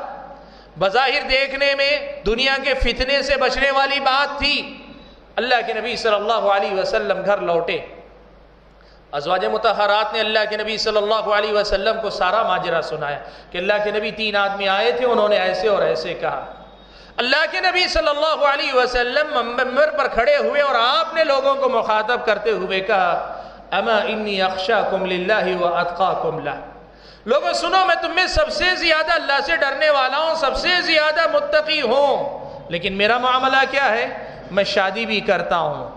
میں رات میں عبادت بھی کرتا ہوں، میں رات میں سوتا بھی ہوں اور میں روزے رکھتا بھی ہوں، میں روزے چھوڑتا بھی ہوں۔ اللہ کے نبی نے کہا، فمن رغب عن سنتی فلیس منی جو آدمی میرے راستے سے منہ موڑے گا، وہ مجھ میں سے نہیں ہے۔ کیا مطلب؟ وہ جو یہ سب کچھ دنیا چھوڑ کر الگ ہو جانا چاہتے ہیں، وہ بھی نبی کے طریقے پر نہیں ہے۔ اور وہ لوگ جو دنیا اپنانے کا مطلب یہ سمجھتے ہیں کہ عبادت نہ ہو، وہ دنیا ہی میں لگ جائیں، کبھی بیوی بچوں میں الجھ جائیں کبھی رات رات بھر صرف سونے میں نکل جائے، کبھی دن بھر ہمیشہ صرف جو ہے کھانے پینے میں دنیا داری میں گزر جائے۔ یہ بھی نبی کے طریقے پر نہیں۔ اسلامی شریعت مجھ کو اور آپ کو یہ بتاتی ہے کہ دیکھو، اس دنیا کا جو ہے بہت بڑا مسئلہ یہ ہے کہ تمہیں اسی دنیا میں رہنا ہے، لیکن اس دنیا میں رہ کر تمہیں آخرت کی کھیتی کرنی۔ اسی دنیا میں رہ کر، اسی دنیا کو برت کر، اسی دنیا کو استعمال کر کے آخرت کی کھیتی کرنی دنیا چھوڑ کر نہیں جانا ہے۔ لیکن خیال یہ رکھنا ہے کہ کھیتی کرتے ہوئے کہیں آخرت کی کھیتی کرنے کے بجائے دنیا ہی کی کھیتی میں لگ جاؤ، ایسا کبھی نہیں ہونا چاہیے۔ اللہ تعالیٰ نے فرمایا، فَمِنَ النَّاسِ مَنْ يَقُولُ رَبَّنَا آتِنَا فِي الدُّنْيَا وَمَا لَهُ فِي الْآخِرَةِ مِنْ خَلَقٍ۔ کہا، لوگوں میں سے کچھ لوگ ایسے ہیں جو یہ کہتے ہیں، اللہ تعالیٰ مجھے دنیا دے دنیا دے دنیا دے۔ اللہ نے کہا، آخرت میں ایسے بندے کو کچھ نہیں ملتا۔ ہے لیکن ان کے مقابلے میں کچھ لوگ یہ کہتے ہیں، اللہ تعالیٰ دنیا بھی اچھی دے، آخرت بھی اچھے دے۔ اللہ تعالیٰ نے کہا، یہ جو ہے مومنوں والا طریقہ ہے۔ یہ مومنوں والا طریقہ۔ معلوم کیا ہوا، میرے بھائیوں یہ دوسرا میرا اور آپ کا دشمن ہے، وہ ہے میری اور آپ کی دنیا۔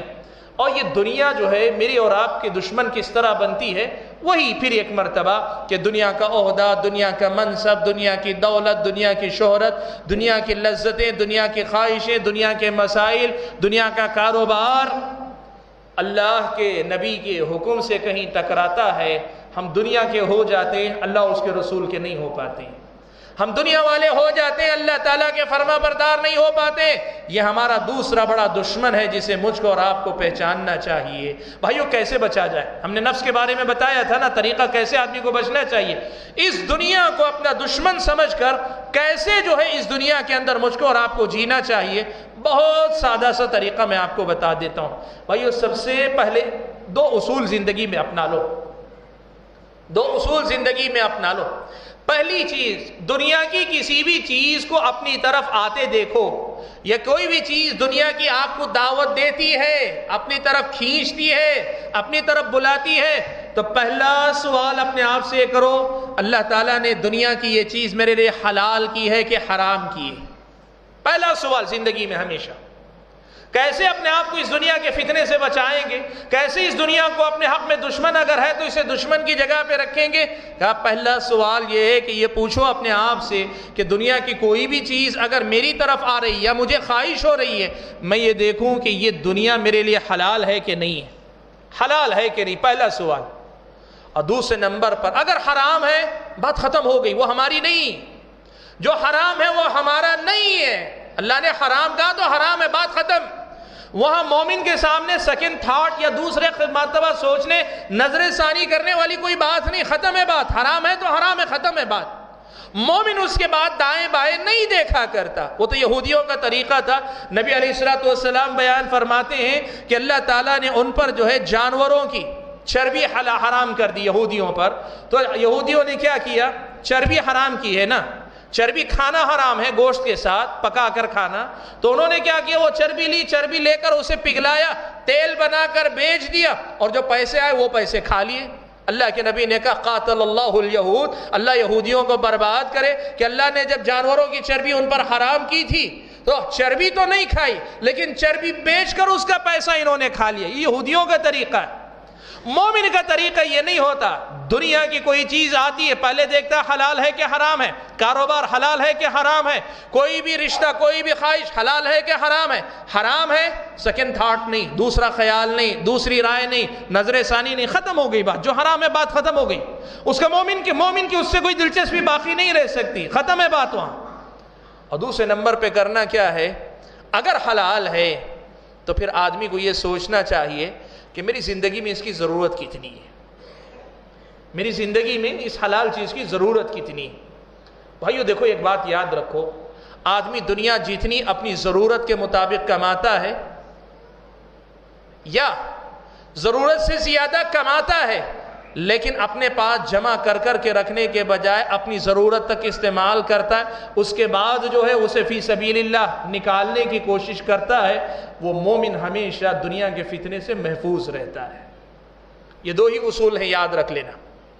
ایک اصول یہ ہے کہ میری اپنی جو بھی دنیا دنیا کا کوئی بھی معاملہ اگر حرام ہے، میرے پاس دوسرا کوئی آپشن ہی نہیں، میں دیکھوں گا ہی نہیں اس طرف۔ ختم بات۔ اور دوسری بات یہ کہ جو حلال اور جائز دنیا ہے، اس میں سے جو میرے ہاتھ آ رہی ہے، اس میں میری ضرورت کتنی؟ اس میں میری ضرورت کتنی؟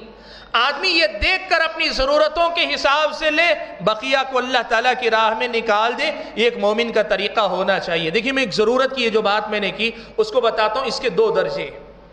ایک درجہ وہ ہے جو نبی علیہ السلاۃ والسلام نے اور حضرت ابو بکر اور عمر صحابہ نے جو ہے، یا صحابہ کے جو ابتدائی دور کے صحابہ انہوں نے جو اس کو اپنایا، وہ وہ درجہ ہے۔ یا صحابہ میں سے کئی ایک نے بھی بات کے دور میں اپنایا، وہ درجہ۔ وہ کیا درجہ ہے؟ دیکھیے، وہ درجہ یہ ہے کہ آپ کی ضرورت سے بڑھ کر آپ کی ضرورت سے بڑھ کر، آپ کی ضرورت سے مراد آپ کے لباس، آپ کا کھانا پینا اور آپ کے سر پہ چھت۔ جو روز مرہ کے ضرورتیں، ان ضرورتوں سے بڑھ کر جتنا بھی ہے، پورا اللہ کی راہ میں دے دیا جائے۔ آپ کی ضرورت سے بڑھ کر جو بھی ہے، پورا کا پورا اللہ تعالیٰ کی راہ میں دے دیا جائے۔ یہ اللہ کے نبی صلی اللہ علیہ وسلم اور ابو بکر و عمر رضی اللہ تعالیٰ عنہ کا طریقہ تھا۔ ایک دن اللہ کے نبی صلی اللہ علیہ وسلم نے نماز پڑھائی۔ نماز پڑھا کر اللہ کے نبی صلی اللہ علیہ وسلم باہر سلام پھیرنے کے ساتھ، تیزی کے ساتھ اٹھے، اٹھ کر اللہ کے نبی سیدھے اپنے کمرے میں چلے گئے۔ اللہ کے نبی کا معمول ایسا نہیں تھا۔ اللہ کے نبی سلام پھیرنے کے بعد صحابہ کی طرف رخ پھیر کر بیٹھا کرتے تھے۔ اللہ کے نبی جس تیزی سے گئے، صحابہ آپس میں چھ کرنے لگے، کیا بات ہے؟ آج کچھ غیر معمولی بات ہوئی، اللہ کے نبی فوراً نکل کر جا رہے ہیں۔ صحابہ بیٹھے ہوئے تھے کہ اللہ کے نبی واپس لوٹ کر آئے۔ صحابہ نے پوچھا تو اللہ کے نبی نے کہا کہ کچھ نہیں مجھے خیال آیا کہ میرے پاس جو سونا آیا تھا، میرے پاس جو سونا آیا تھا، اس میں کا ایک حصہ یعنی بقدر النوات، کھجور کی گٹھلی برابر کچھ سونا، ابھی میرے گھر میں رکھا ہوا باقی رہ گیا ہے۔ نماز میں خیال آیا تو مجھے، میری یہ خواہش ہوئی کہ تین دن گزرنے سے پہلے پہلے مجھے یہ اللہ کے راہ میں نکال دینا چاہیے، اس لیے میں نکل کر گیا، اس کا صدقہ کر دیا۔ یہ درجہ ہے کہ آپ کی ضرورت سے بڑھ کر جو بھی ہو، آپ سب اللہ کی راہ میں خرچ کر دیں۔ محتاجوں کو ضرورت مندوں کو، مسکینوں کو، بیواؤں کو، یتیموں کو، سماج کے محلے کے ضرورت مندوں کو آپ دے کر ختم کر دیں۔ ایک طریقہ یہ ہے، اور یہ درجہ بہت اونچا درجہ ہے، یہ جو ہے کامل مومنوں کا درجہ ہے۔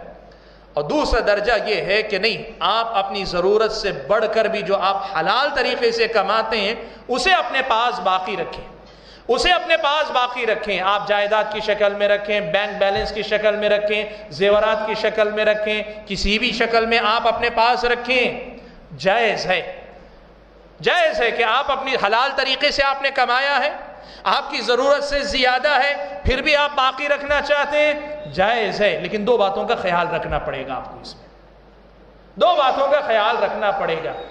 ایک بات تو یہ ہے کہ جو مال آپ باقی رکھتے ہیں، اس کے جو حقوق ہیں وہ حق ادا ہونے چاہیے۔ یعنی اس میں سے زکوٰۃ برابر ادا ہونی چاہیے۔ جن لوگوں کی کفالت آپ کے ذمے ہیں ان پر برابر خرچ کرنا چاہیے۔ کوئی ضرورت مند مانگتا ہوا آئے تو اسے دینا چاہیے۔ مال کے جو حقوق ہیں وہ برابر ادا ہوتے رہنے چاہیے۔ ایک بات اور دوسری بات یہ ہے کہ دولت آپ کی ضرورت سے بڑھ کر جتنی بھی دولت ہو آپ کے پاس چاہے تھوڑی ہو یا قارون کے خزانے برابر دولت ہو، وہ دولت آپ کے ہاتھ میں ہونی چاہیے، آپ کے جیب میں ہونی چاہیے، لیکن آپ کے دل میں نہیں ہونی چاہیے۔ اس کا مقام آپ کے ہاتھ میں ہو، آپ کے نام پر ہو، آپ کے اختیار میں ہو، لیکن آپ کے دل میں نہ ہو کہ اس مال کی محبت سے اپنے آپ کو پاک رکھیں آپ۔ اگر یہ باتیں ہم نے خیال رکھ لی تو ہم نے اس دنیا کے فتنے سے اپنے آپ کو بچا لیا۔ بہت مختصر کر کے بتا دیتا ہوں۔ میں نے کہا دوسرا دشمن دنیا اور اس دنیا سے بچنے کا راستہ کیا ہے؟ پہلا اصول یہ دیکھو، یہ دنیا کا کوئی بھی چیز میرے لیے حلال ہے کہ حرام ہے؟ اگر حرام ہے، بات ختم ہو گئی۔ اس سے ہمارا کوئی لینا دینا نہیں۔ اور دوسری درجہ یہ ہے کہ ہم دیکھیں کہ یہ اگر حلال ہے تو اس میں میری ضرورت کتنی ہے؟ اپنی ضرورت سے زائد جو بھی ہوتا ہے، وہ اللہ کی راہ میں دے دیں۔ کمائے ہی نہیں، یا کما بھی رہیں تو آپ دے دیں اللہ کی راہ میں۔ اور دوسرا درجہ یہ ہے کہ نہیں، ضرورت سے بڑھ کر بھی آپ اپنے پاس رکھیں۔ لیکن جو رکھتے ہیں اس کے سلسلے میں دو باتوں کا خیال رکھیں۔ ایک تو یہ کہ اس مال کے حق برابر ادا ہوتے رہیں۔ اور دوسری بات یہ ہے کہ اس مال کی بیجا محبت ہمارے اور آپ کے دل میں نہ ہو۔ مال ہاتھ میں ہو، جیب میں ہو، ہمارے اختیار میں ہو، لیکن ہم اور آپ اس کے فتنے میں مبتلا نہ ہوں۔ بھائیو، یہ دوسرے دشمن سے مقابلہ کرنے کا طریقہ۔ اس ترتیب کے ساتھ اگر ہم نے کیا نا، تو ابو بکر کی طرح دنیا کے مالدار انسان ہوں گے۔ دنیا ہمارے پاس ہوگی، لیکن دنیا ہم اور آپ کو بہکا نہیں پائے گی۔ عثمان غنی رضی اللہ تعالیٰ عنہ کی طرح کروڑوں کے ہم مالدار ہوں گے، لیکن یہ دنیا ہماری دشمن نہیں بن پائے گی۔ عبد الرحمن ابن عوف رضی اللہ تعالیٰ عنہ کی طرح میری اور آپ کے گھر میں دولت کی ریل پیل ہوگی، خوب چہل پہل ہوگی، لیکن یہ دنیا میرے اور آپ کے لیے فتنہ نہیں بنے گی میرے اور آپ کی دشمن نہیں بنے گی اور میرے اور آپ کے عمل کی راہ میں رکاوٹ نہیں بنے گی ہم بے عمل کہاں ہو جاتے ہیں؟ یہ جو میں نے آپ کو مرحلے بتائے نا کہ آدمی کو کیسے بچنا چاہیے، ان میں سے کسی نہ کسی مرحلے میں ہم ٹھوکر کھا جاتے ہیں۔ ایک تو حرام و حلال کا فرق بھول جاتے ہیں، ٹھوکر کھا جاتے ہیں۔ یا حلال ہی لیتے ہیں، لیکن ضرورت سے آگے بڑھ کر لیتے ہیں تو پھر اس کے حق ادا نہیں کرتے۔ یا حق ادا بھی کرتے ہیں تو خیال اس کا نہیں رکھتے کہ یہ مال کی محبت ہمارے دل میں پیدا نہ ہو۔ اس کے فطرے میں مبتلا ہو جاتے ہیں۔ یہاں ہم اور آپ بے عمل ہو جاتے ہیں، بے عملی یہاں سے میری اور آپ کی زندگی میں آتی ہے۔ اور تیسرا تیسرا تیسرا دشمن، اور یہ بڑا خطرناک ہے بھائیوں تیسرا دشمن ہے میرا اور آپ کا، وہ ہے شیطان۔ شیطان میرا اور آپ کا دشمن ہے۔ اللہ نے فرمایا ان الشیطان لکم عدو فتخذوه عدوا۔ شیطان یقیناً تمہارا دشمن ہے، تم اسے اپنا دشمن ہی بنا کر رکھو۔ تم اسے اپنا دشمن ہی بنا کر رکھو۔ یہ اللہ تعالیٰ نے مجھ کو اور آپ کو حکم دیا ہے۔ بھائیوں میں ایک بات آپ کو بتاؤں۔ ہماری اور آپ کی زندگی میں ایک بہت بڑا مسئلہ یہ ہے کہ ہم شیطان کو دشمن سمجھتے ہیں۔ شیطان کو ہم اپنا دشمن سمجھتے ہیں، جانتے ہیں کہ شیطان ہمارا دشمن ہے۔ آدم علیہ السلام سے لے کر قیامت تک یہ ہماری دشمنی پر ہی ہے۔ لیکن مسئلہ یہ ہے کہ اس دشمن کو، دشمن کی حیثیت سے جیسے اس پہ نظر رکھنی چاہیے، ہم نہیں رکھ پاتے۔ ہیں اس شیطان کا معاملہ کیا ہے، آپ کو پتا ہے۔ اللہ کے نبی صلی اللہ علیہ وسلم فرماتے ہیں، ان شیطان یجری من الانسان مجرد دم شیطان انسان کی رگوں میں خون کے ساتھ ساتھ دوڑتا رہتا ہے۔ یعنی آپ کے ساتھ ہمیشہ لگا ہوا ہے۔ اللہ کے نبی صلی دوسری حدیث میں بیان فرماتے ہیں کہ روزانہ صبح ابلیس اپنا تخت پانی پر بچھاتا ہے اور اس کے بعد اپنے کارندوں کو، اپنے نمائندوں کو دنیا میں بھیجتا ہے کہ جاؤ، بنی آدم کو گمراہ کر کے آؤ۔ روزانہ صبح وہ بھیجتا ہے۔ یعنی مطلب یہ ہوا کہ آپ کا دشمن روزانہ تیاری کر کے آپ پہ حملہ کرتا ہے۔ لیکن سوال یہ ہے کہ کیا آپ کو پتا ہے کہ آج آپ پر حملہ ہوا؟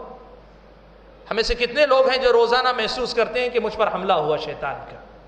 شیطان نے مجھ پر حملہ کیا۔ ہم کتنے لوگ ہیں جو یاد رکھتے ہیں؟ آپ یقین کریں کہ وہ شیطان ہمارے وہ ہماری طرف سے چوکنا ہے۔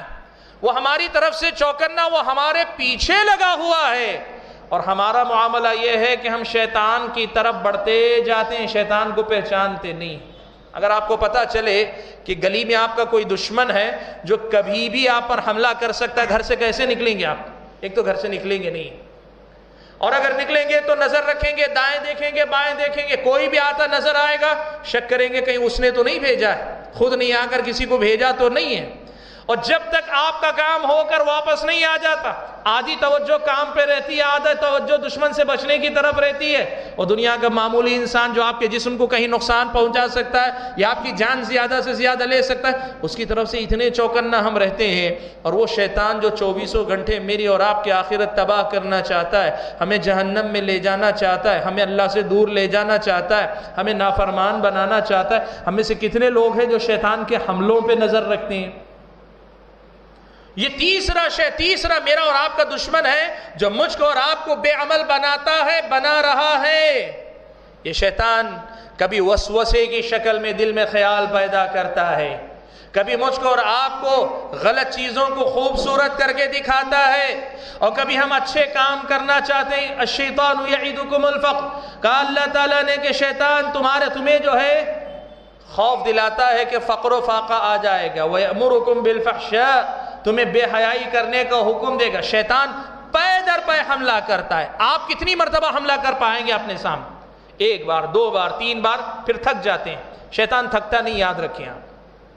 سو مرتبہ حملہ کرے گا تو ایک سو ایکویں بار اور زیادہ طاقت کے ساتھ وہ حملہ کرے گا۔ اس لیے کہ شیطان کے سامنے ایک ہی ہدف ہے، ایک ہی ٹارگٹ ہے، وہ ہمیں راستے سے ہٹا دے۔ وہ ہر لمحے ہمارے پیچھے لگا ہوا ہے۔ لیکن ہم اور آپ شیطان کے اوپر نظر نہیں رکھتے۔ اپنے دشمن کو نہیں پہچانتے۔ نتیجہ کیا ہوتا ہے؟ ہماری اور آپ کی زندگی کے اندر عمل گھٹتا ہے، بے عملی بڑھتی ہے۔ ہم اور آپ اللہ تعالیٰ کے نافرمان بنتے چلے جاتے ہیں۔ بھائیو، یہ تیسرا دشمن ہے۔ تیسرا دشمن ہے اور یہ ایک مستقل عنوان ہے کہ شیطان کے حربے کیا کیا ہے؟ شیطان کس کس راستے سے بنی آدم کو گمراہ کرتا ہے؟ یہ ایک مستقل عنوان ہے۔ اہل علم سے آنے والے جانے علماء سے آپ ان عنوانات پہ سننے کی کوشش کیجیے کہ یہی سب میری اور آپ کی زندگی سدھارتے ہیں۔ یہی سب باتیں مجھ کو اور آپ کو بتاتے ہیں کہ یہ جنگ کیسے ہم لڑے۔ آپ یوں سمجھیے کہ آدم کی اولاد یعنی ہم اور آپ، شیطان کے ساتھ زندگی بھر حالت جنگ میں ہیں ہم۔ کبھی ہماری اور اس کے درمیان صلح کا ماحول نہیں۔ شیطان کے ساتھ ہمارا جو ہے کبھی صلح سمجھوتا نہیں۔ اس لیے کہ ہم آپ تیار بھی ہو جائیں، شیطان تیار نہیں۔ ہم اور آپ تیار بھی ہو جائیں کہ بھئی تم ہمیں تکلیف نہ پہنچاؤ، ہم تمہیں کچھ نہیں کہیں گے۔ مان لے اگر ہم بھی تیار ہو جائیں، شیطان تیار نہیں ہوگا۔ شیطان ہمیشہ ہمارے اور آپ کے پیچھے لگے گا اور آخری مرحلہ یہ ہوگا کہ جان جاتے ہوئے انسان کے جو آخری لمحات ہوتے ہیں، شیطان وہاں بھی آ کر کوشش کرے گا کہ مرنے سے پہلے کلمہ پڑھنے سے اسے محروم کر دوں مرنے سے پہلے اس سے کفر کروا لوں اس حد تک کوشش کرے گا۔ اس دشمن کو پہچانے کہ یہ میری اور آپ کی بے عملی کی بہت بڑی وجہ ہے۔ میرے اور آپ کے بے عمل ہونے کی بہت بڑی وجہ ہے۔ بھائیو، میں نے آپ کے سامنے کہا نا کہ تین دشمن ہمارے ہیں۔ ایک میرا اور آپ کا نفس، دوسری میری اور آپ کی یہ دنیا، اور تیسری چیز یہ شیطان۔ یہ تین چیزیں جو مجھ کو اور آپ کو بے عمل بناتے ہیں۔ اب سوال یہ ہے کہ ان کا مقابلہ ہم کرتے ہیں۔ ان کا مقابلہ ہم کیسے کریں گے؟ بھائی، یہ دو بنیادی باتیں ہیں جو آج میں آپ کے سامنے بیان کرنا چاہ رہا ہوں، اور میرے اپنے عنوان کا سب سے اہم پیغام جسے میں نے عنوان بنایا۔ اس پورے عنوان کا جو اہم پیغام جسے میں نے عنوان بنایا وہ بات اب آپ کے سامنے آنے جا رہی ہے۔ طریق بات کیا ہونی چاہیے؟ سب سے پہلے تو یہ ہے کہ دیکھو، اللہ تعالیٰ کا ایک بہت بڑا کرم ہے کہ یہ جو ہماری جنگ ہے ان تین دشمنوں کے ساتھ، نفس امارہ کے ساتھ، دنیا کے ساتھ، شیطان کے ساتھ، ان تینوں جنگوں کے اندر لڑنے کے لیے اللہ تعالیٰ نے سب سے کارگر ہتھیار جو مجھ کو اور آپ کو دیا ہے، وہ میرا اور آپ کا نفس لوامہ ہے۔ اللہ تعالیٰ نے ملامت کرنے والا ایک نفس مجھ کو اور آپ کو دیا ہے۔ جس کو ہم اپنا ضمیر کہتے ہیں، ضمیر کی آواز کہتے ہیں۔ ہم اپنے اندر کے باطن کی ایک آواز کہتے ہیں۔ یاد رکھو میرے بھائیوں، دنیا کی بڑی نعمتوں میں سے اللہ نے ہم اور آپ کو بہت دیا ہے۔ بہت کیا، جو کچھ ہے، سب اسی کا دیا ہوا ہے، سب اسی نے دیا ہے۔ لیکن اللہ تعالیٰ کی دی ہوئی نعمتوں میں سے انتہائی غیر معمولی نعمتوں کا اگر آپ شمار کریں گے، ان نعمتوں میں سے ایک بڑی نعمت یہ میرا اور آپ کا نفس لوامہ ہے، جو میرا اور آپ کا نفس ہے، جو مجھ کو اور آپ کو ملامت کرتا ہے۔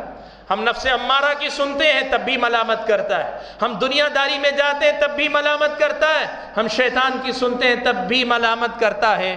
دل میں کھٹک پیدا ہوتی ہے۔ صحابی نے آ کر اللہ کے نبی صلی اللہ علیہ وسلم سے پوچھا تھا کہ اللہ کے نبی، نیکی کیا ہے، گناہ کیا ہے؟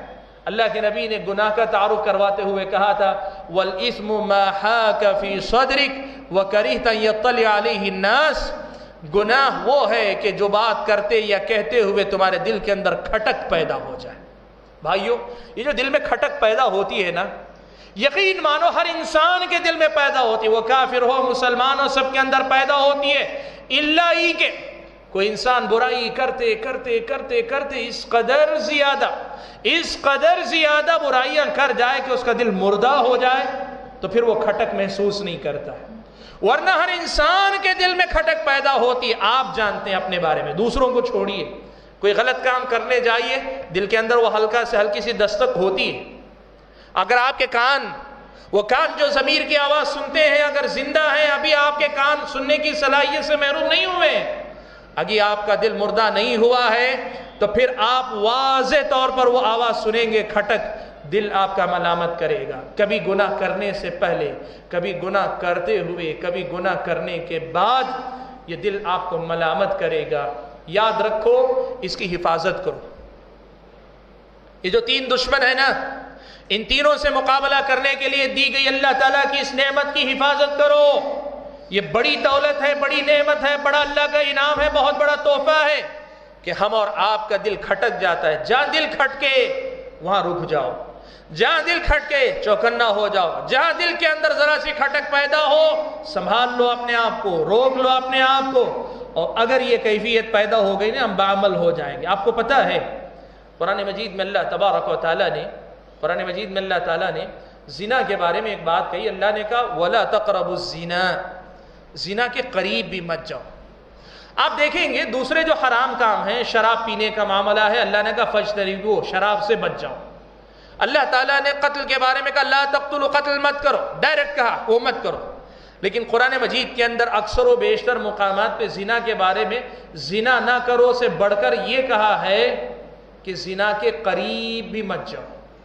کیوں ایسا کہا ہے؟ اہل علم نے لکھا، اس کی وجہ یہ ہے کہ دوسرے گناہ آدمی بچ بھی سکتا ہے، لیکن زنا کے مراحل جو آدمی طے کرتا ہے، وہ ایک مرتبہ ابتدا کرنے کے بعد واپس درمیان میں رکنا آدمی کے لیے مشکل ہے۔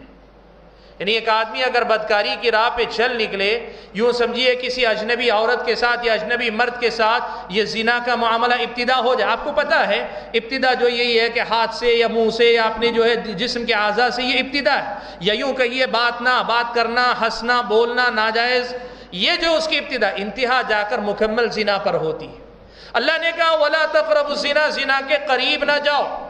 کیوں؟ اس لیے کہ وہاں جا کر رکنا، آخری مرحلے میں رکنا بہت مشکل ہے۔ اکثر و بیشتر انسان ناکام ہو جاتا ہے۔ لیکن میرے بھائیوں جو آدمی اپنے ضمیر کی آواز سننے کا عادی ہوتا ہے نا، اللہ نہ کرے اگر پہلے مرحلوں میں غلطی کر بھی جائے، وہ آخری مرحلے سے بھی پلٹ کر واپس آ سکتا ہے۔ وہ آخری مرحلے سے بھی پلٹ کر آ سکتا ہے۔ آپ نے سنا بڑا مشہور واقعہ ہے، بنی اسرائیل کے تین آدمی غار میں پھنس گئے۔ غار میں پھنس گئے۔ بارش آئی، غار کے اندر گئے، ایک چٹان آ کر بیٹھ گئی منہ پہ۔ اب اتنی بڑی چٹان کے تینوں زور دے کر ہٹا نہیں سکتے۔ باہر کی دنیا والوں کو نہیں معلوم کہ کوئی اندر قید ہے۔ ایسے ماحول کے اندر وہ پریشان ہیں۔ اب تینوں نے اپنی اپنی نیکیوں کو یاد کیا اور اللہ سے دعا کی کہ اللہ تعالیٰ یہ نیکیاں ہم نے خالص تیری رضا کے لیے کی تھی۔ تو اگر ہماری نیکیوں سے راضی ہو گیا ہے تو ہمیں اس سے نجات دے۔ نبی علیہ السلط والسلام نے بیان فرمایا کہ اللہ نے نجات دے دی تینوں کو۔ لیکن تینوں میں سے ایک آدمی نے اپنی نیکی کیا بیان کی تھی پتا ہے؟ اس نے کہا، اللہ کے نبی، اے اللہ تعالیٰ، اس نے کہا، بنی اسرائیل کے آدمی نے کہ اے اللہ تعالیٰ، میری اپنی ایک چچا زاد بہن تھی، رشتہ دار تھی میری اپنی، میں ہمیشہ اس کے ساتھ برائی کر لینے یعنی بدکاری کر لینے کا خواہش مند تھا۔ میں ہر طرح سے کوشش کر چکا، لیکن وہ تیار نہیں ہوئی۔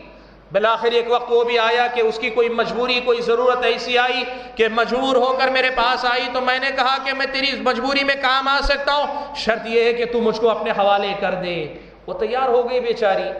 وہ کہتا ہے کہ اللہ اللہ اللہ تعالیٰ، میں اس کے بالکل آخری مرحلے میں تھا۔ یعنی زنا کے بالکل آخری، یوں سمجھیے کہ اب بالکل زنا کی اس میں آخری مرحلے میں داخل ہونے ہی والا تھا۔ کہ اس لڑکی نے کہا، اتق اللہ اللہ سے ڈر، ولا تفض الخاتم الا بحقه اور ناجائز طریقے سے میرے ساتھ معاملہ مت کر۔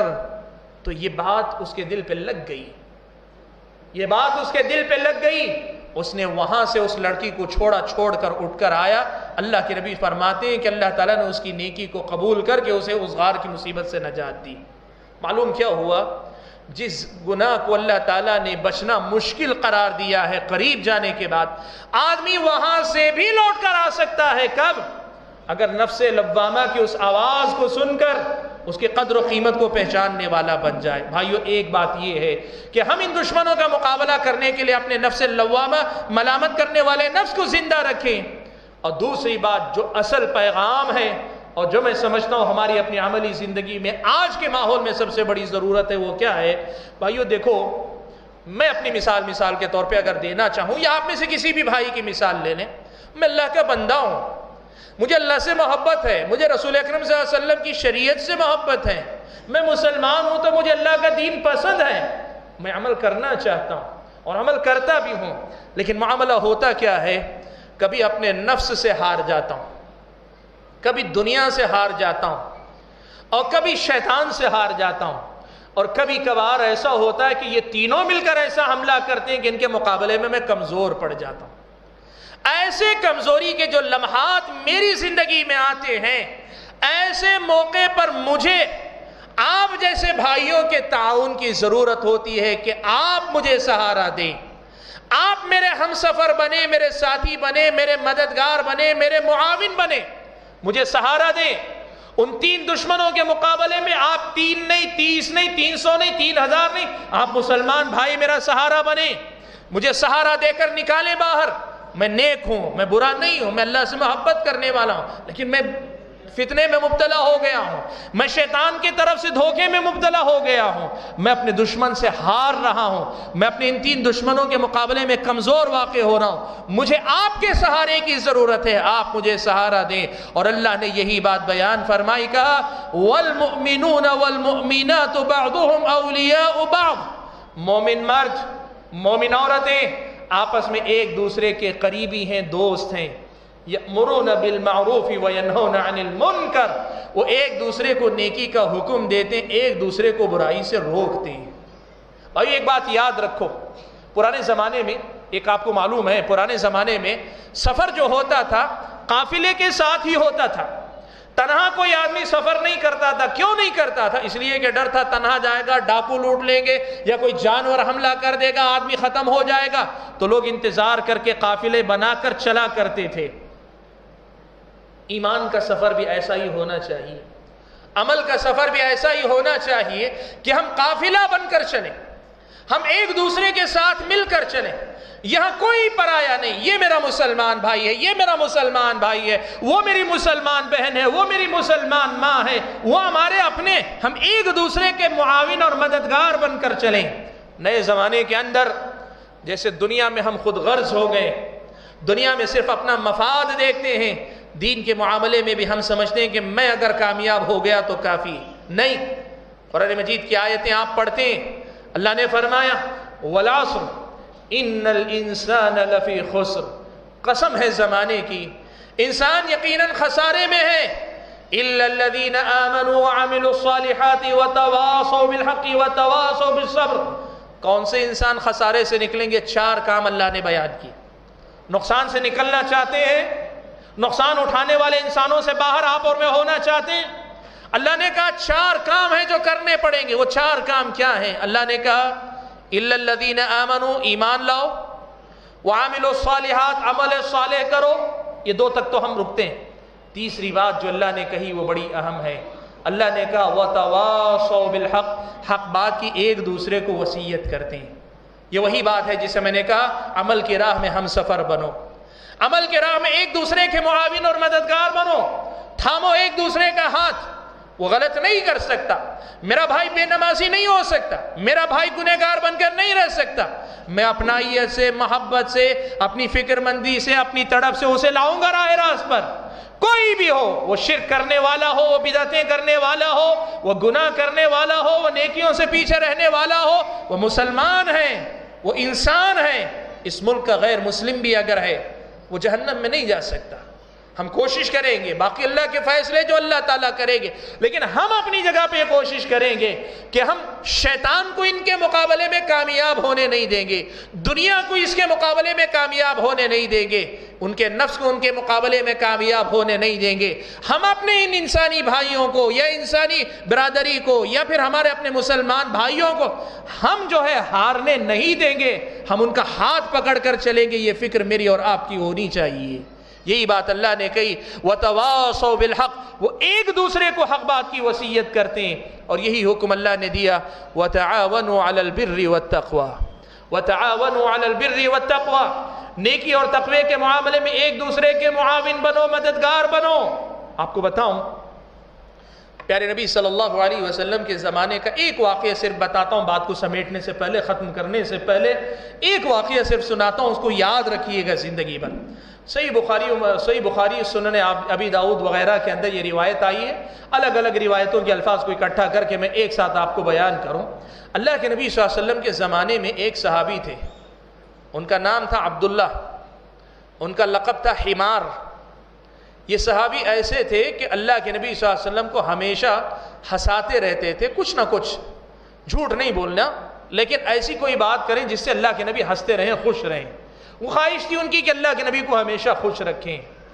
یہ صحابی ہیں، لیکن ان کے ساتھ مسئلہ یہ تھا کہ یہ زمانے جاہلیت میں شراب پینے کے جو عادی تھے، شراب کی عادت سے چھٹکارا نہیں پائے ہوئے تھے۔